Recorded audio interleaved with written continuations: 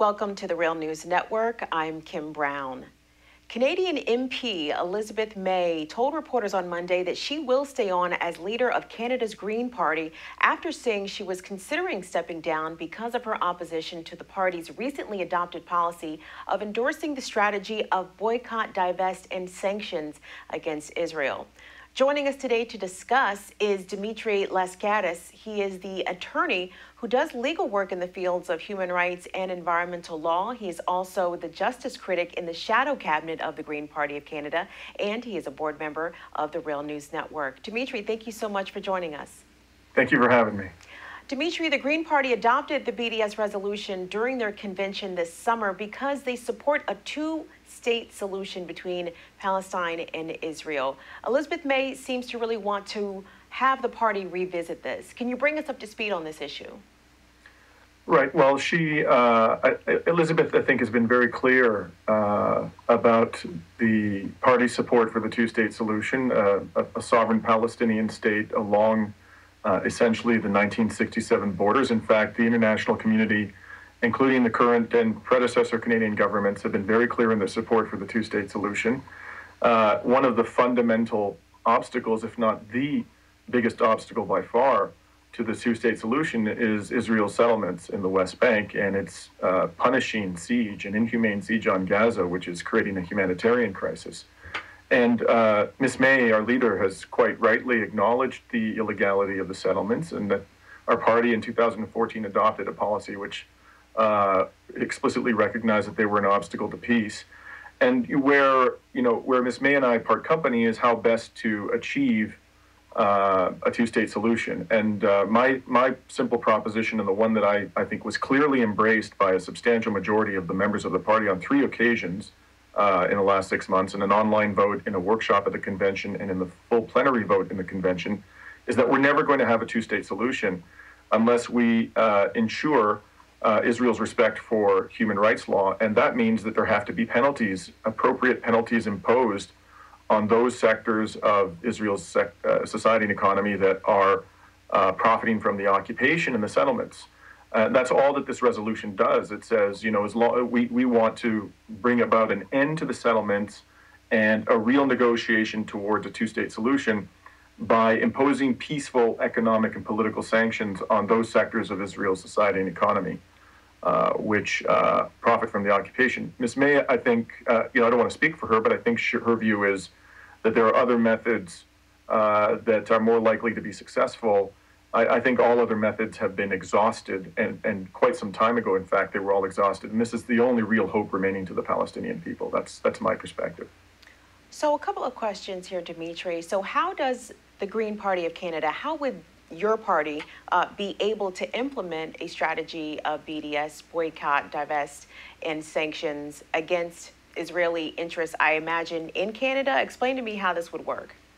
Well, what this resolution is, it's an, it's an expression of support for the BDS movement, which I think has quite significant uh, moral uh, and uh, symbolic force for the Canadian public. We are operating in an environment here in Canada, and this is true of other Western countries like the United States and France, in which apologists for the government of Benjamin Netanyahu, an extreme, violent, and racist government, are uh, creating very powerful disincentives to express support for BDS.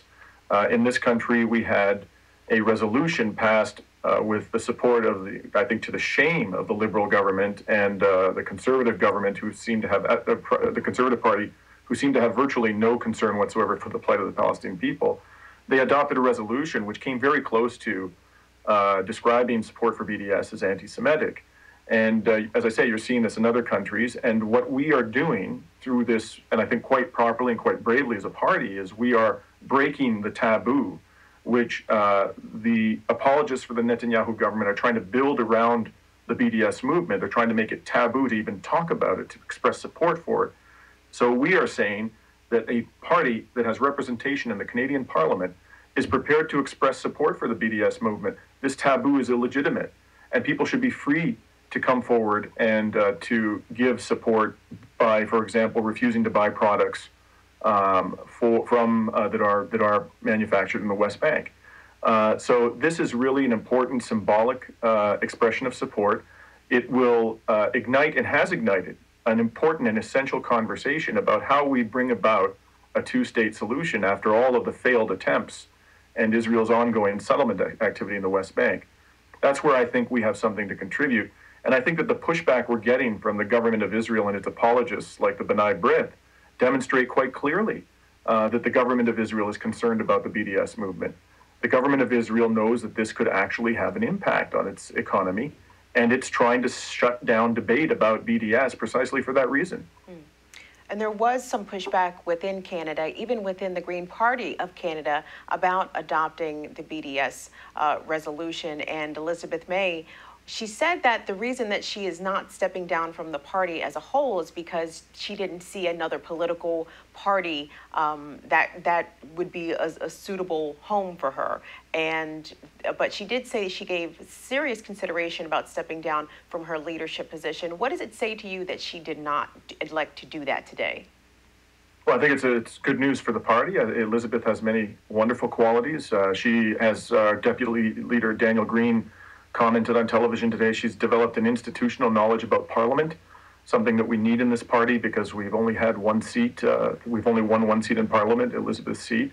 So it's it's a positive development. Uh, that certainly uh, very good news for the party that she's staying on at the helm, and I think that it does reflect the fact that. Uh, uh, you know, Elizabeth's core values are consistent with the core values of the party, and she understands that. Where else uh, is she going to find a party that uh, respects those core values. The liberals who uh, support Bill C 51, the anti terror law that's highly oppressive, uh, that want to see tar sands pipelines constructed, uh, that support democracy destroying trade agreements like the Trans Pacific Partnership and the CETA.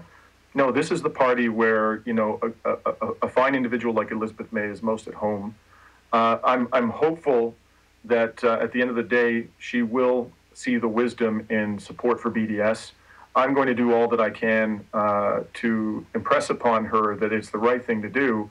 And she commented today, uh, you know, that uh, she doesn't believe, and I respect her opinion, but she doesn't believe that uh, we should be endorsing social movements uh, like BDS. But uh, this is exactly what our party did when it endorsed the LEAP Manifesto. The LEAP Manifesto is it, it fundamentally a social movement uh, it's an expression of will of a social movement. It isn't a partisan political document.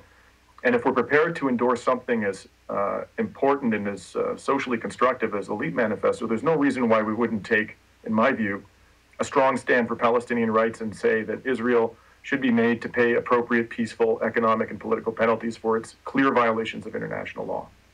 And Dimitri, lastly, is the Green Party of Canada sort of alone politically when it comes to BDS as a, as a strategy, as you know something to endorse, even symbolically. Uh, what about the Trudeau administration? Have they have they shown any appetite for wanting to pressure Israel into a more equitable two-state solution?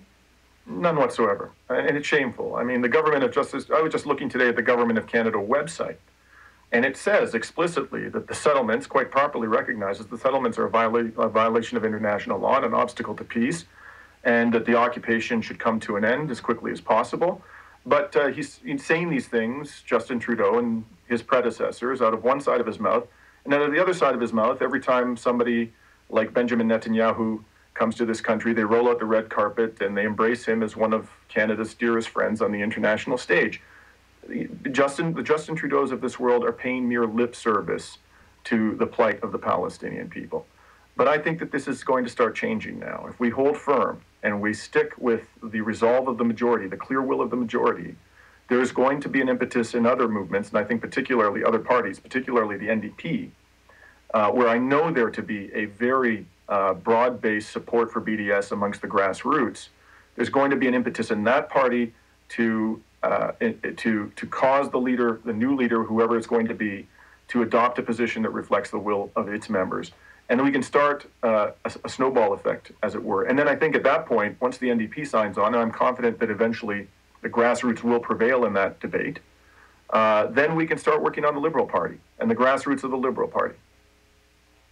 All right. Well, we've been joined with Dimitri Lascaris. He is an attorney who does legal work in the fields of human rights and environmental law. He is also uh, the justice critic for the shadow campaign of the Green Party of Canada. We've been discussing Elizabeth May, the leader of the Green Party of Canada, announcing on Monday her decision to stay on as leadership there, in spite her opposition uh, to the adaptation of BDS uh, by the Green Party of Canada at their convention. Dimitri, we appreciate your time today. Thank you.